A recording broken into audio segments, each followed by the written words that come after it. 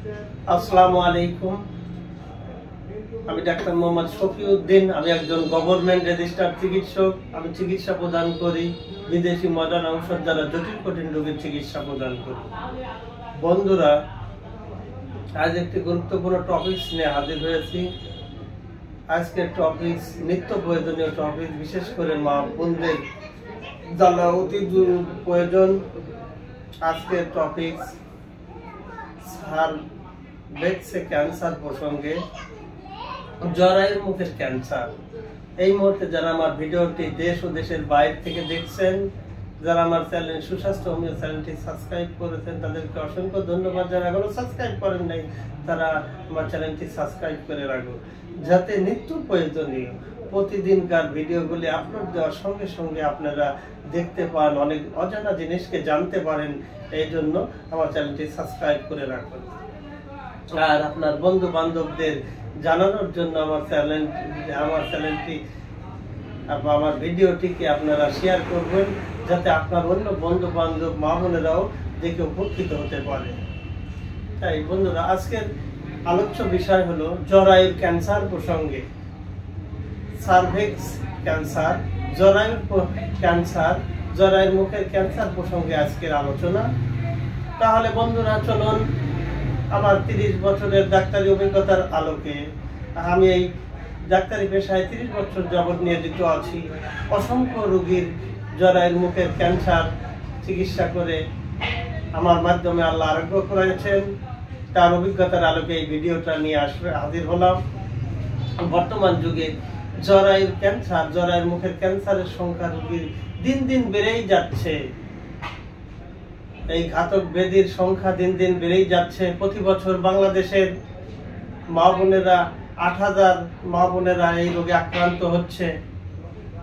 দেখা যায়, তার ম- তন্মধ্যে আট, পাঁচ হাজার মারা যাচ্ছে। আক্রান্ত সংখ্যা আট হাজার, মৃত্যুর সংখ্যা পাঁচ হাজার। কেননা এই জরায়ুর ক্যান্সার রোগটা জরায়ুর মুখের ক্যান্সারের রোগটা সহজে ধরা পড়ে না। যখন ধরা পড়ে সেভেন্টি পার্সেন্ট অতিক্রম করার পর অ্যাডভান্স হওয়ার পর যখন ধরা পড়ে, চিকিৎসায় আরোগ্য হন না। অ্যালোপ্যাথিক চিকিৎসায় বেশিরভাগই অকৃতকার্য হন। কিন্তু হোমিও চিকিৎসায় সাইন্স অ্যান্ড সিমটম অনুসারে যদি রোগীকে চিকিৎসা করা যায়, তাহলে আরোগ্যর পার্সেন্ট বেশি। তাই বন্ধুরা আমার মা বোনদের আহ, মুখে ক্যান্সার হলে চিন্তার কোনো কারণ নাই বিচলিত হওয়ার কোনো কারণ নাই। একজন অভিজ্ঞ হোমিও ডাক্তারের স্বর্ণপূর্ণ হবেন। অভিজ্ঞ ডাক্তার সাহেব রোগী ডায়াগনোসিস করে বিভিন্ন টেস্টের মাধ্যমে রোগ ডায়াগনোসিস করে রোগী পর্যবেক্ষণ করে হোমিও সায়েন্স অ্যান্ড সিমটম অনুসারে we treat the patient not for disease এই ফর্মুলায় যদি চিকিৎসা দিয়ে থাকেন, ইনশাল্লাহ রোগী আরোগ্য হবে। তাহলে জরায়ুর ক্যান্সার কাকে বলে? এই জরায়ুর ক্যান্সার সার্ভেক্সে ক্যান্সারটা হয়ে থাকে, যখন সার্ভেক্সে আক্রান্ত হয়, তখন সার্ভেসাইটিস বলা হয় জরায়ুর মুখের ঘা বলা হয়। এই জরায়ুর মুখের ঘা দীর্ঘদিন অবস্থান করার কারণেই ক্যান্সারে রূপান্তর হয়। ক্যান্সারে রূপান্তর হয় জরায়ুর মুখের ক্যান্সার দুই ধরনের হয়ে থাকে জরায়ুর বডি অ্যান্ড জরায়ুর সার্ভেক্স জরায়ুর বডি আর সার্ভেক্স জরায়ুর মুখ। এই জরায়ুর মুখেই ক্যান্সারটা বেশি হয়। ক্যান্সারের কারণ জরায়ুর মুখের ক্যান্সারের কারণ মা বোনেরা, বিশেষ করে মা বোনেরা ভালো করে শুনবেন। আপনাদের রিলেটেড ভিডিওটি মা বোনেরা জরায়ুর মুখের ক্যান্সার প্রতিরোধ করার জন্য বা ক্যান্সার কি হয়েছে কীভাবে বুঝবেন? কেন হয়? এই কারণগুলো মা বোনদের জানা একান্ত প্রয়োজন। বন্ধুরা আমার জুনিয়র ডাক্তারদের উদ্দেশ্যে বলছি, বন্ধুরা আমার জরায়ুর মুখের ক্যান্সার কি কারণে হয়? জরায়ুর মুখের ক্যান্সারের প্রধান কারণ হচ্ছে বাল্য বিবাহ। অল্প বয়স্ক, বয়সে মা বোনদের বিবাহ দেওয়া। অল্প বয়সে পরকীয়ার কারণে গোপনেই ছেলে মেয়েরা বিয়ে করে নিচ্ছে। আবার অনেক অভিভাবক। যারা সচেতন না, অল্প বয়সে ছেলে মেয়েদের বিবাহ দিয়ে দিচ্ছে। এই বাল্য বিবাহর কারণে একটা মেয়ে পরিপক্ক না হওয়ার পরে যখন বিবাহ দিয়ে দিচ্ছে, অল্প বয়সেই সে গর্ভধারণ করছে। আবার অশিক্ষিত ফ্যামিলি হলে পিট পিট অনেক বাচ্চা নিয়ে নিচ্ছে, এই বাল্য বিবাহিত মেয়েটাই। যার কারণে এই সার্ভেক্স ক্যান্সার জরায়ের মুখের ক্যান্সারের সংখ্যা বাড়ছে। এটা হলো মুখ্য কারণ। দ্বিতীয় কারণ, মেয়েদের ঘাতক বেদিয়ার একটা লিউকোরিয়া হোয়াইট ডিসঅর্জ সাদা স্রাব ভাঙায়। এই সাদা স্রাব ভাঙতে ভাঙতে জরায়ু ভিজাই থাকে সর্বদা। অনেক মা বোনেরা আছে ঠিক মতো এটাকে পরিষ্কারও করেন না। না করার কারণে এইচপি হিউম্যান প্যাপিলোনা এইচপি নামক ভাইরাস হিউম্যান প্যাপিলোনা ভাইরাস জরায়ুতে আক্রমণ করে, এই জরায়ের মুখের ক্যান্সার সংঘটিত হয়। জরায়ের মুখে ক্যান্সার তৈরি করে, সেই ভাইরাসটার হলো নাম এইচপি হিউম্যান প্যাপিলোনা নামক ভাইরাস মাবনদের জরায়ের মুখে ক্যান্সার ঘটায়। তার এই ঘাতক ব্যাধি ক্যান্সারের হাত থেকে বাঁচতে হলে প্যাপিলোনা নামক ভাইরাস থেকে বাঁচতে হলে আমাদের সচেতনতা হবে, সচেতনতা অবলম্বন করতে হবে। বাল্য বিবাহ দেওয়া যাবে না, অল্প বয়সে মেয়েদের বিবাহ দেওয়া যাবে না, অল্প বয়সে বিয়ে দেওয়ার পর ঘন ঘন বাচ্চা নেওয়া থেকে বিরত থাকতে হবে। তবেই মা বোনেরা এই রোগ থেকে বাঁচবেন। মা বোনেরা কীভাবে বুঝবেন যে আপনার জরায়ের মুখে ক্যান্সার হয়েছে? কীভাবে বুঝবেন যে আপনার জরায়ের মুখে ক্যান্সার হয়েছে? এবং অভিভাবকরা কীভাবে বুঝবেন? একজন সংসারের মানুষরা কারও ক্যান্সার মামুনের হলে, আপনার মেয়ের ক্যান্সার হলে আপনি কীভাবে বুঝবেন? আপনার বইয়ের ক্যান্সার হলে কীভাবে বুঝবেন? আপনারা বুঝবেন যখন কোনো মামুনের জ্বরের মুখে ক্যান্সার হয়, তখন সে ঠিক মতো খাওয়া দাওয়া করবে না। কেউ ওজন কমে যাবে, শুকায় যাবে, আবার কারও কারও ওজন বেড়ে যায় হরমোনের তারতম্যের কারণে। জরায়ের মুখের ক্যান্সারের রোগী একবার খেলে আর খেতে চাবে না, পেট ফুলে থাকবে, অ্যাসিডিটি দেখা দিবে বদ হজম হবে কনস্টিপশন হবে, পায়খানা ঠিক মতো হবে না হেডাস দেখা দিবে, প্রচুর মাথা ব্যথা দেখা দিবে, তারপরে বমি বমি ভমিটিং হবে, বমি বমি ভাব লাগবে, তল পেটে প্রচণ্ড ব্যথা হবে। এটাই ক্ষান্ত নয়, অনেক মা বোনদের সার্ভেক্সে ক্যান্সারের কারণে ব্যাক পেইন হবে, পিঠে ব্যথা হবে।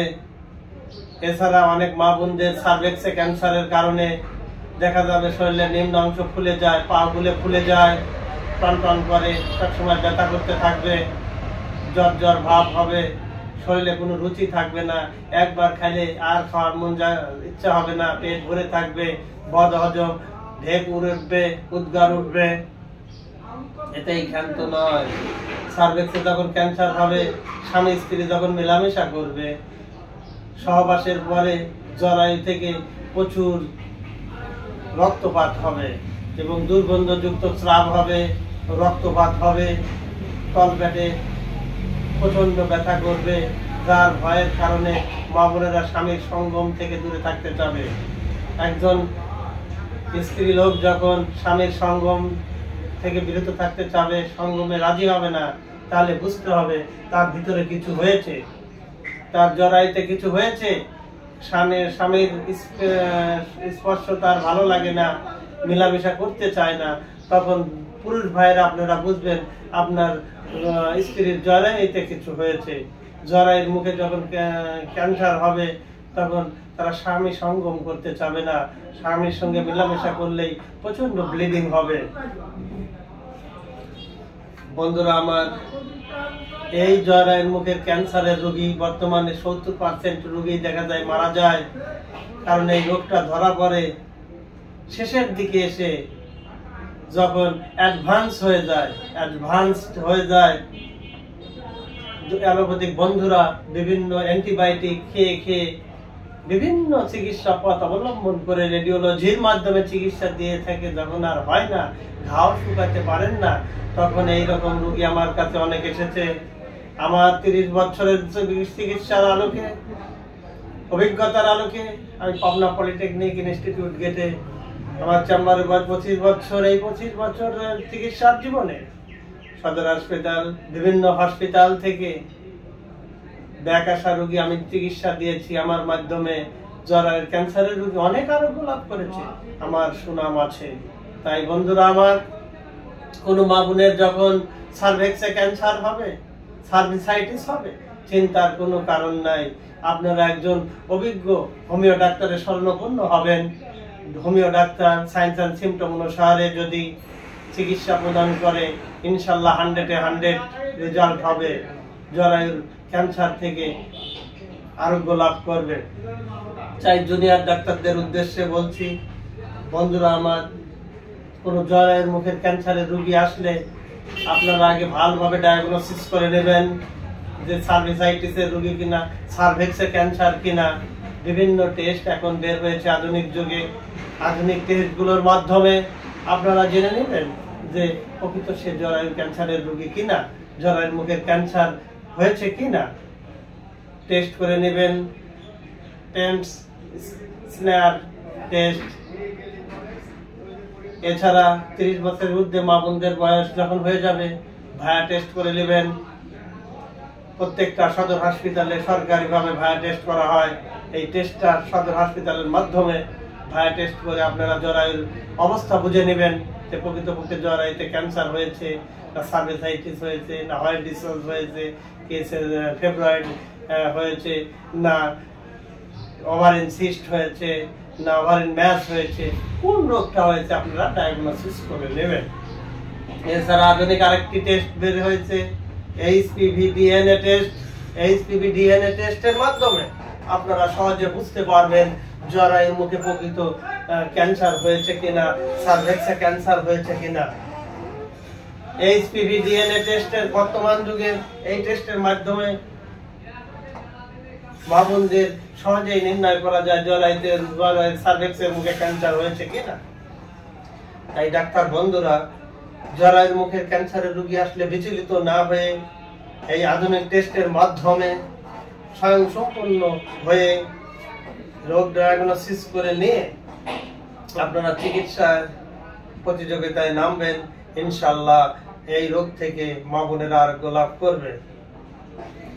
আর এই ডায়াগনোসিস করার মাধ্যমে যদি আপনি সঠিক চিকিৎসা দেন ইনশাল্লাহ কিছু হবেন না, এই রোগ থেকে আরোগ্য লাভ করবেন আর মা বোনদের এই সার্ভেক্সাইটিসের প্রতি আমাদের দৃষ্টি দিতে হবে। তবেই গা আমরা সুখী হতে পারব। গ্রাম বাংলার মানুষের সুস্বাস্থ্যই দেশের উন্নতির প্রধান সোপান। আপনি সুস্থ হলে পরিবার, সমাজ, দেশ সুস্থ। নিজে সুস্থ থাকুন, নিজের জীবনকে দীর্ঘায়ু করুন। একজন ফ্যামিলির মা বোনেরা সুস্থ হলে একটা পরিবার সুস্থ, একটা দেশ সুস্থ, একটা জাতি সুস্থ। তাই বোনরা ভাই বোনেরা আমার, যারা ক্যান্সার থেকে আপনারা সচেতনতা অবলম্বন করুন, বাল্য বিবাহ থেকে দূরে থাকুন, এবং জরাই পরিষ্কার করে রাখুন, স্বামী স্ত্রী মেলামেশার পরে খুব ভালোভাবে পরিষ্কার করবেন। এছাড়া প্রতিদিন আপনারা জরাই গরম পানি করে লবণ পানি দিয়ে জরাই পরিষ্কার করবেন। যাতে সার্ভিসাইটিস না হয় হোয়াইট ডিসার্জ হলে দ্রুত চিকিৎসা করে সেটাকে আরোগ্য লাভ করবেন জরাই ভিজা থেকে যাতে সার্ভিসাইটিস না হয়। একমাত্র সচেতনতাই পারে জরায়ুর হ্রাস জরায়ুর এই ক্যান্সারের হার কমাতে সচেতনতা ছাড়া এই রোগ থেকে বাঁচা যাবে না। কেননা জরায়ুর ক্যান্সার এই রোগ সহজে ধরা পড়ে না। যার কারণে এই না রোগের নামকে সাইলেন্ট কিলার বলা হয়। সাইলেন্ট কিলার মা বোনদের এটা একটা সাইলেন্ট কিলার নীরবে থেকে মা বোনদেরকে ধ্বংস করছে। এই সাইলেন্ট কিলারের হাত থেকে বাঁচতে হলে সার্ভেসাইটিস থেকে বাঁচতে হলে একমাত্র বয়সের সচেতনতা। আর এই সচেতনতার মাধ্যমে আপনারা পারবেন এই রোগের হার কমাতে এবং মৃত্যুর হার কমাতে। তাই বন্ধুরা আমার, ডাক্তার বন্ধুরা সচেতন হবেন। মা বোনেরাও সচেতন হবেন, তাহলেই আমরা সমাজ থেকে এই ঘাতক ব্যাধি, এই সাইলেন্ট কিলিয়ার কিলারকে আমরা আরোগ্য, এই সাইলেন্ট ক্লিয়ারের হাত থেকে আমরা আরোগ্য লাভ করব সাইলেন্ট ক্লিয়ারের হাতে আক্রমণ থেকে আমরা বাঁচতে পারব, সমাজকে বাঁচাতে পারব, দেশকে বাঁচাতে পারব, জাতিকে ধ্বংসের হাত থেকে বাঁচাতে পারব। তাই আজকে আমার আলোচনা এখানেই টানছি। সবাইকে ধন্যবাদ।